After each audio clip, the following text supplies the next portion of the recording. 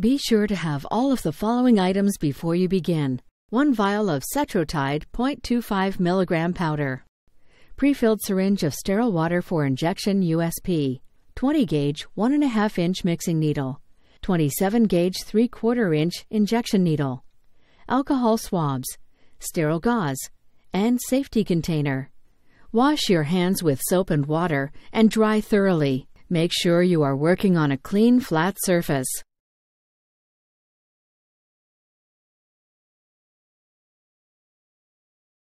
Flip off plastic cap of the Cetrotide 0.25 mg vial and wipe vial top with an alcohol swab.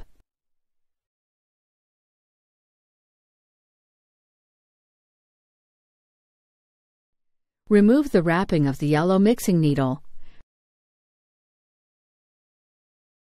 Remove the cover from the pre-filled syringe. Twist the yellow mixing needle on the syringe and remove the needle cover. With the vial on a flat surface, insert the needle of the pre-filled syringe straight down through the marked center circle of the rubber stopper on the vial. Slowly inject the water into the vial and gently swirl. If bubbles appear, wait a few moments for them to settle.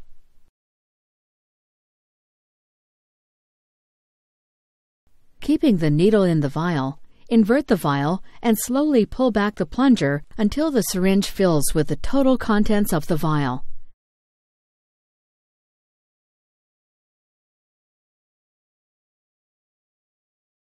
Remove the syringe needle from the vial.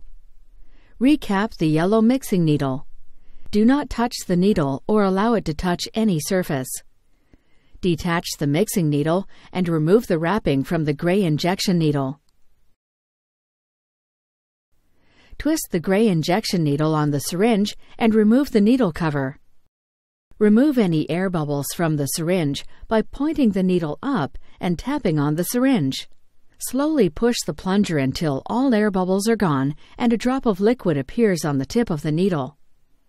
Recap the gray injection needle. Do not touch the needle or allow it to touch any surface.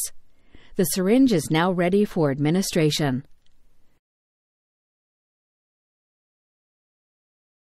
Choose an injection site as directed by your healthcare provider. Common sites for subcutaneous injection include the abdomen, top part of the thigh, or back of the arm.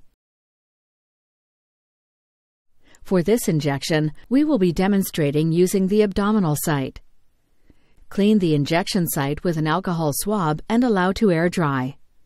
You should alternate injection sites each day.